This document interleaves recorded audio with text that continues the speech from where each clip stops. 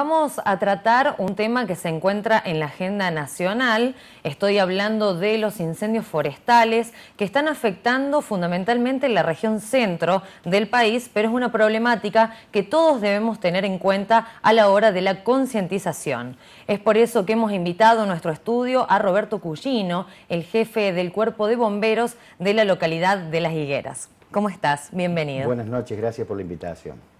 Bueno, Principalmente estamos en unos meses donde el clima no acompaña. La combinación del viento y de las altas temperaturas es un factor de mucho riesgo en nuestra zona para fomentar los incendios forestales. ¿Es así? Es así, esta época del año es muy crítica, es altamente riesgosa, estamos en alerta máxima en toda la provincia debido a las temperaturas bajas, los fuertes vientos y la carga de combustible que hay en los campos y en las zonas aledañas.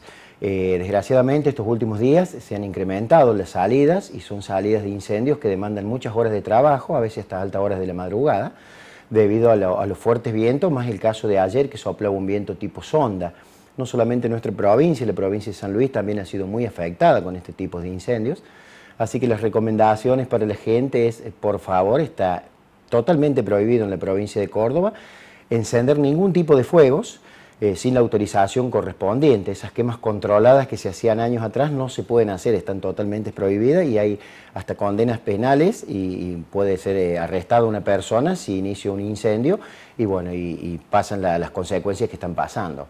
Eh, desafortunadamente, el 90% de los incendios son causados por el hombre. Eh, muy rara vez puede ser producto de un rayo, de algún problema por fuertes vientos de un tendido eléctrico que ocasiona distintos eh, puntos de igniciones donde toma combustión. Pero eh, concientizando a la gente y demás, yo creo que podemos minimizar la cantidad de incendios que hay, más que todo en esta época del año. En esta oportunidad, ¿cuáles fueron las zonas afectadas? ¿En qué zonas están trabajando específicamente? Bien, en la jurisdicción nuestra afortunadamente estamos bastante, bastante tranquilos. Hemos trabajado mucho con bomberos de Río Cuarto en el día de ayer. Se trabajó en autovía Ruta 36 de Córdoba a Río Cuarto, más próximamente en la localidad de Espinillo, en una avícola donde se quemaron más de 30 hectáreas de rastrojo de maíz y donde se vio afectada dicha avícola. Afortunadamente no llegó hacia los galpones, pudimos cortarlo antes. Se hicieron los cortafuegos con maquinarias agrícolas y bueno, después las extinciones con, con los autobombas. Eh, había maquinaria agrícola, había silo bolsa, los galpones y una vivienda. Y bueno, y a veces se torna imposible también y hay que cortar lo que es la parte de arterias de tránsito porque el humo afecta la visibilidad de, las personas que vienen en viaje. Así que cuando se perciben este tipo de siniestro, eh, por favor acatar las órdenes de policía caminera, de bombero, policía de la provincia, porque puede ser peor todavía, eh, al no tener visibilidad puede ocurrir algún tipo de siniestro vial. Y bueno, Río Cuarto estuvo trabajando mucho en la zona de 3AC, que hasta alta hora de la madrugada.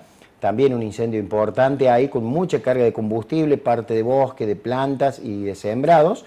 Eh, hasta prácticamente las 3 de la madrugada estuvieron trabajando y durante el día trabajó un avión hidrante de la provincia, donde trabajaron cinco cuarteles, eh, Las Higueras, trabajó Santa Catalina Holber, Río Cuarto, Gijena y Alejandro Roca en apoyo porque realmente la demanda era muy importante y estábamos superados claro. con el trabajo. Siempre destacamos la articulación del Gran Río Cuarto, pero en este caso no se han quedado atrás y han incluido toda la región. ¿Cómo, han sido, eh, ¿Cómo ha sido el operativo específicamente? ¿Cuáles son los pasos a seguir? ¿Qué medidas se toman ante estos siniestros? Buena pregunta. Hay un protocolo. Nosotros estamos, la provincia está dividida en 12 regionales la regional que integramos nosotros con Río Cuarto y el Gran Río Cuarto es la regional 5, que le integran muchos cuarteles y destacamentos aledaños al Gran Río Cuarto.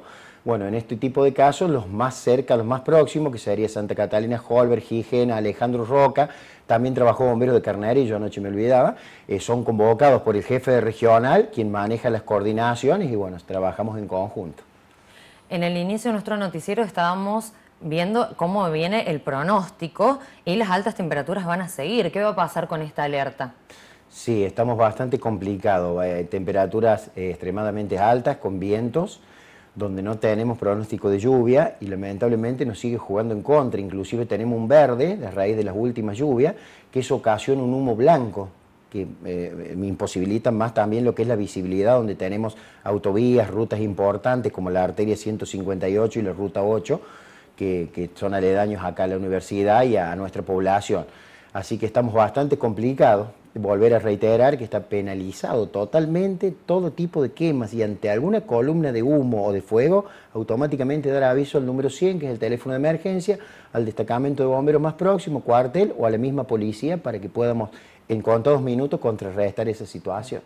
¿Se están realizando eh, capacitaciones tanto para las personas, obviamente, para concientizar al respecto, pero también por parte del cuerpo de bomberos?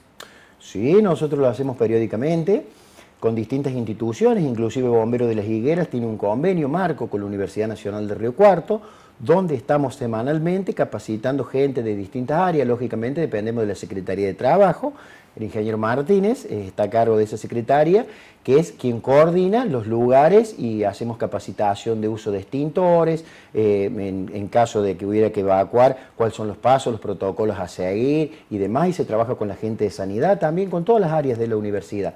Eh, afortunadamente, este último año hemos bajado la estadística a cero dentro de lo que es el campus universitario y la parte de afuera, lo que es Campodex y distintos lugares, se hacen los cortafuegos pertinentes en la época que corresponde y bueno, y están, se ha trabajado mucho en lo que es reemplazo de tableros eléctricos, parte de electricidad, colocación de extintores y ha habido algunos que otros tipos de principios de incendio que ha dado respuesta a los brigadistas o la gente de la guardia mientras nosotros nos, eh, trasladamos hacia la universidad. Afortunadamente, te digo, son 18 meses que tenemos estadísticas cero de incendios en la Universidad Nacional de Río Cuarto. Se ve que se ha hecho un buen trabajo y vamos a seguir en ese horizonte. Es una excelente noticia en materia de seguridad para nuestra institución, pero este trabajo se va a extender al Gran Río Cuarto. Sí, sí, sí, se viene haciendo con todas las instituciones, como te decía, institución que requiere. Eh, nosotros trabajamos mucho con los colegios, capacitando a los chicos que hagan de vasos comunicantes, que lo trasladen hacia sus casas, más cuando llega la temporada fuerte de invierno, el tema del uso de los calefactores, la limpieza de los mismos, porque a veces el monóxido de carbono es un gas que es inoloro, inodoro, insípido, y lamentablemente no se percibe y en un lugar muy cerrado, donde ocurre eso, puede ocasionar la muerte. Y en su trabajo diario, que están obviamente en diálogo con las personas, ¿cuáles son las necesidades que les plantean por un lado y sus opiniones al respecto de estas situaciones que nos están afectando? Bueno, se nota mucho, nosotros tenemos muchas reuniones, como te decía, de regionales, donde somos más de 20 cuarteles que la conformamos la Regional 5, se nota mucho las localidades donde no hay gas natural. Se incrementan los riesgos de incendio a raíz de que hay garrafas el gas natural es como que es un gas más seguro. El tema garrafa es complicado y cuando se declara un principio de incendio en una garrafa, las personas tienden a huir de la vivienda. Con el solo hecho de cerrarla la garrafa se soluciona. La garrafa no es que explote porque se va a quedar sin gas ni nada. Cuando la envuelve el fuego, debilita el recipiente, que es la parte de hierro, y ahí estalla la garrafa. Se nota más este tipo de incidentes en en las localidades que no tienen gas. En la localidad nuestra, afortunadamente, más del 80% de la localidad cuenta con gas natural. Es muy difícil que tengamos un incendio de vivienda nosotros. Muy difícil. Las precauciones sí, en invierno, no ponerle ropa más húmeda próxima a los calefactores y salir de la vivienda, eh, ir a hacer compras y demás, porque se puede iniciar un principio de incendio por los vapores o porque alguna mascota algo pueda tumbar esa silla o el lugar donde están emplazados eh, las ropas para el secado y ahí sí puede ocurrir un, tipo de incidente. Y después, bueno, las precauciones en la parte eléctrica, ¿no es cierto? En las viviendas, las térmicas, los disyuntores, para que no ocurra ningún tipo de siniestro. Se me ocurre preguntarle cuál es el nivel de los cuerpos de bomberos en la provincia de Córdoba, teniendo en cuenta que en las noticias varios días hemos visto que han sido destacados en su trabajo, teniendo en cuenta que también son actividades voluntarias. Eso hay que destacarlo porque en la mayoría de los cuerpos de bomberos de la provincia actúan voluntariamente. Sí, son muy pocos los cuarteles que tienen algún que otro bombero, la guardia, que son dos o tres bomberos que son rentados. El resto somos todos voluntarios. La provincia de Córdoba es la provincia que más cuarteles de bomberos tiene en la República Argentina, porque Buenos Aires está dividido en dos, la zona norte y la zona sur. La provincia de Córdoba tiene aproximadamente 208 cuarteles de bomberos. Es una suma muy importante. Y a nivel capacitación, yo creo que estamos dentro de lo que es la parte de este continente, uno de los mejores, la provincia de Córdoba, al igual que la provincia de Santa Fe. Se hacen cursos en exteriores, están permanentemente capacitando gente, tenemos un centro de capacitación en la Federación de Bomberos y hay una agrupación, que es otra federación, agrupación serrana, que es la parte de las sierras, donde cuentan con 20, 25 cuarteles de bomberos. Eh, yo creo que la provincia de Córdoba es una de las más sobresalientes de todas las provincias de la República Argentina.